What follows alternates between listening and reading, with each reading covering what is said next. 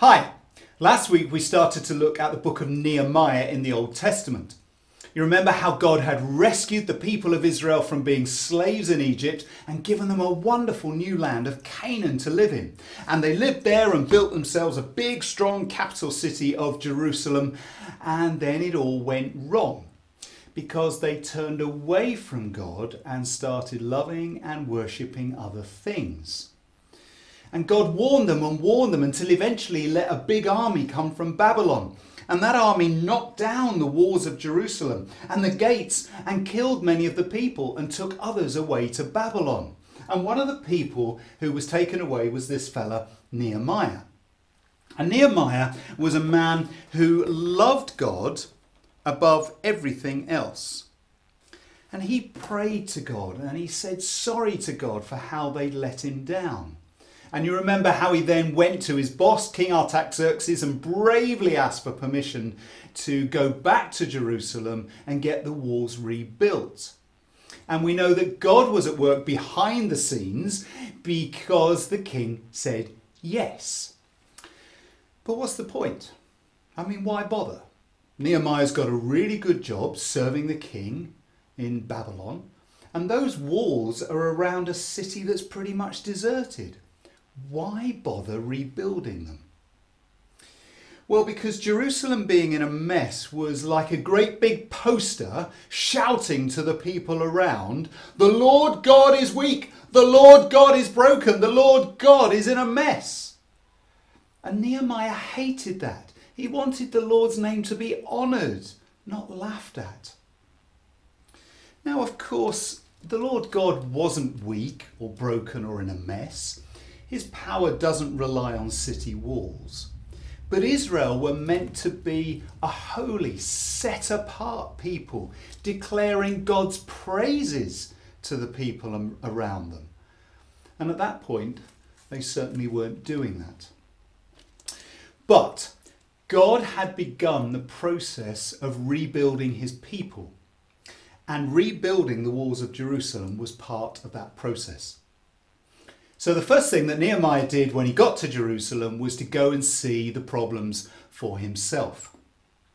So he went round the walls and gates of Jerusalem to see what state they were in, out through the valley gate, towards the jackal well, the fountain gate to the king's pool, and it was a complete mess. Walls that had been tall and thick enough to keep the people safe were now broken down. Wooden gates that had been strong were wrecked and burned. It was an embarrassing mess. And above all, it wasn't a place that brought honour to God's name as the people served and worshipped the Lord God.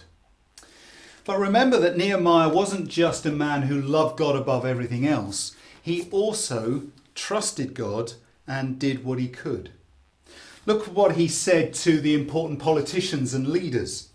You see the trouble we are in. Jerusalem lies in ruins and its gates have been burned with fire. Come, let us rebuild the wall of Jerusalem and we will no longer be in disgrace.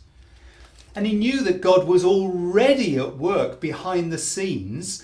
And he told them how the king had let him go back to Jerusalem, had promised him safety on the way, and had even given him some tools and resources to start the work. So they agreed, yes, Let's start rebuilding the walls, they said. And that's what they did. They put on their old clothes, rolled up their sleeves, got out their toolboxes and worked really hard. It must have been hot and sweaty and dusty and shifting those broken down stones around would have been massively hard work, but they all got stuck in. You see, it wasn't just the professionals like the, the plumbers and the builders and the plasterers who got stuck into the work. No, it seems to have been almost everyone. Like the sons of Hassenaah who rebuilt the fish gate. Like Hananiah, son of Shelemiah, Hanun, the sixth son of Zalaph, who rebuilt part of the wall near the horse gate. And I love this. The guys who usually made perfume and gold rings got stuck in as well. Their names were Uzziel and Hananiah. And the sheep gate, I guess that's where the sheep came into Jerusalem from the fields. was rebuilt by Eliashib the high priest and his fellow priests. Those guys were like the top religious leaders, you know, the ministers, the vicars, the bishops, the archbishop, all getting dirty and sweaty repairing the gate. And my personal favourite is Malchijah, son of Rechab, ruler of the district of Beth Hakerem.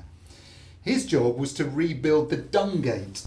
That's where they used to take the rubbish out and dump it in the valley. So probably a pretty smelly place, but Malchijah and his team put up with the smell and worked on the gate anyway. So that's great, isn't it? Nehemiah and the others started rebuilding the walls. But what's that got to do with us? Well, if we're followers of Jesus, then we belong to the church, God's worldwide family. And we are called to serve that church. And sometimes that means hard work. You know, a bit like in our own homes when it's our job to do the washing up or put the bin bags out or whatever. And when we serve the church family, we're working with God to build the church. But sometimes the church can look a little bit like the walls of Jerusalem weak and broken and in a mess. And that happens when we drift away from loving God above everything and start loving other things instead. And then we start to be disobedient to His word. We want to choose for ourselves what's right and wrong instead of being obedient to what God has said in here in the Bible. And when that happens, we need to follow Nehemiah's example. God is at work behind the scenes building his church. Let's work with him and let's bring honour to his name.